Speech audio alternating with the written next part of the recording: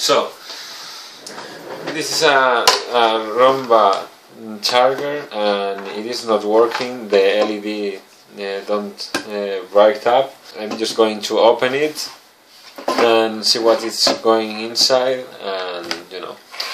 Uh, this is the the platform, the base. Uh, so I, I, think that this is fine, but I think mm, the problem is inside this charger. So I'm just going to open it, and I think that um, under these things I will find uh, the screws. So I'm going to take them out, and yeah, here we go. And so I'm going just to take it apart. Okay. So now this is a, a uh, screwdriver, a Phillips screw. So I will take those, those ones out. I'm going to take this like cable apart, put it out,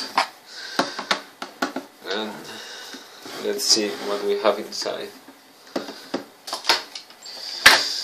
Okay. Mm, so let's take this out and this too.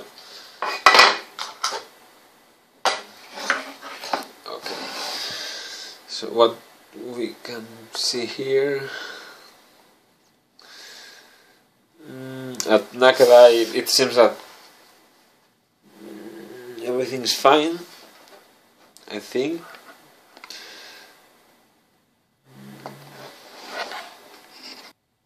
I think that the first thing that I'm going to check is if if the power is is coming inside that and if I we get some output of this power supply. So I'm going to connect this.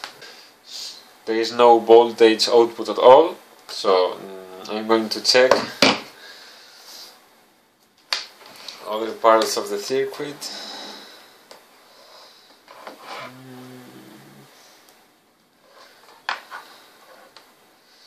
see what if we are getting the voltage there.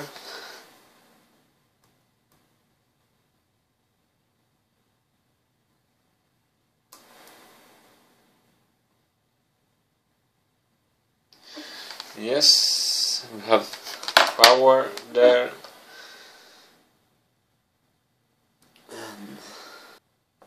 I'm going to check what we have at the capacitor filter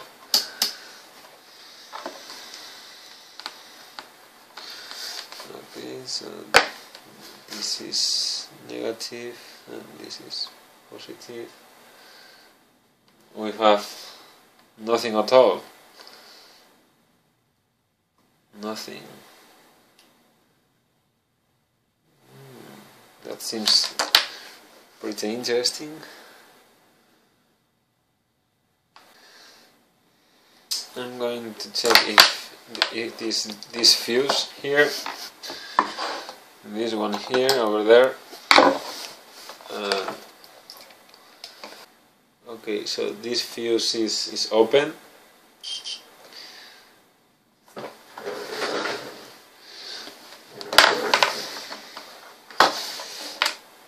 this one over there is, is open so I'm going to take it out desolder it and I don't have anything to replace it.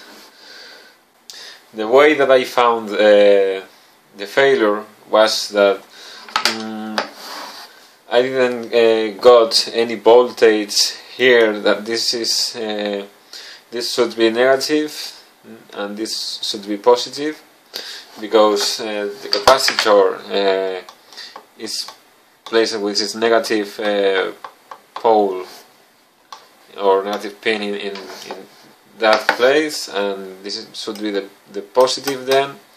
And I, I didn't get anything uh, on those two places so uh, and I didn't get uh, any other thing here or, there so yeah, I'm pretty sure that it must be this fuse that is connected in, in series.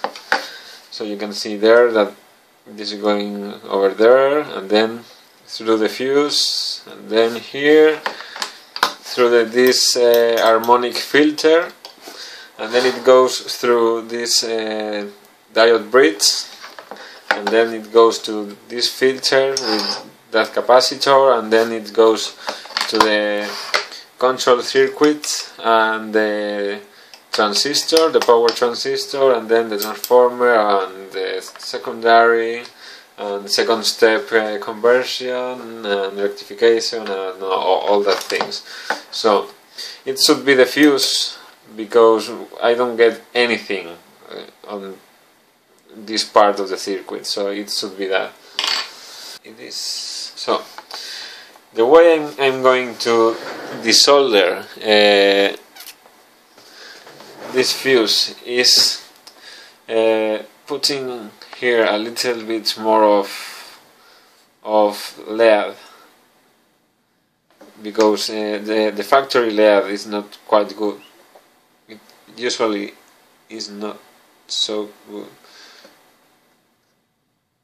And then a little bit more here.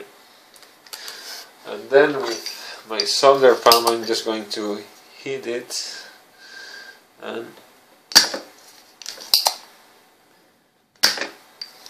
okay another one is out. Ah.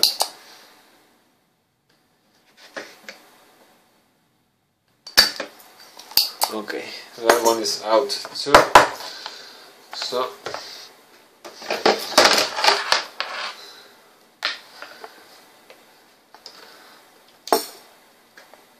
okay so the fuse is out and I'm going to test it. So I'm going to place the, the iron here.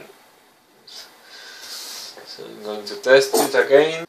Yeah it, it's open. And I'm sure that you cannot see it but here it says that it's a 200 200 volts 205 250 volts and 1.5 uh, amperes amps sorry 1.5 amps. And it is open so we can assume that it, it is broken. So next uh, I'm going to replace that, that fuse with a wire. So just to to short circuit the fuse and see if it works and then if, if it works uh, then I can uh, go to the shop and buy a new fuse and put it there and then it will be fixed. Bend it this way and put it there put it there then open it here a little bit. And then solder it in place. So I'm just going to uh, I'm just going to plug in it. And oops. This side first. And then I just hope that the LED brights up and I'm going to, to put to wear my glasses, my protection glasses, in case that it it blows up. I hope no. Let's see. Yeah, it blew up. So nice way. Yeah. Nice. Ah, I think it has been one of the inductors I'm going to desolder uh, the inductor, this one over there, and see if I can replace it with another short circuit.